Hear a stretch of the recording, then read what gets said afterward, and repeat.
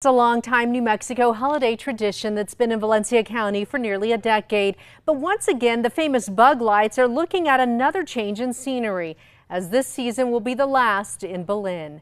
News 13's Jessica Salinas spoke to organizers. This year, we're going to have one last hurrah here in Belen. Right underneath this water tower in Belen lies a spot that holds plenty of holiday memories for many New Mexicans. When people have come, they've actually been to a lot of the different locations.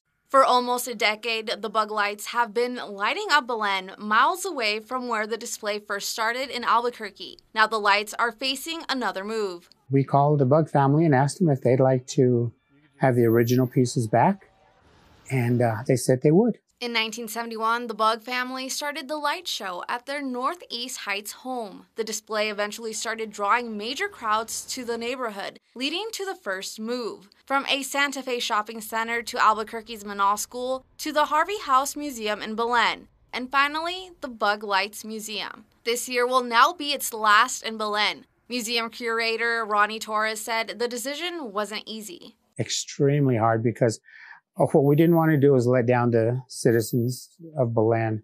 But there comes a time when you get old and you get tired and, and you have to say, I'm done. And we wanted to stop while it was still flourishing. The original pieces of the collection will be going back to the third generation of the Bugg family. Torres says he's just happy to be able to have been part of something positive. I'm glad that as the city of Belen, we were able to be part of the Bugg family legacy. And that's what we're proud of. Jessica Salinas, KRQE News 13. The Bugg Lights will reopen Saturday at 5 in Belen. We reached out to the Bugg family to see what they plan to do with the display next year, but we did not hear back.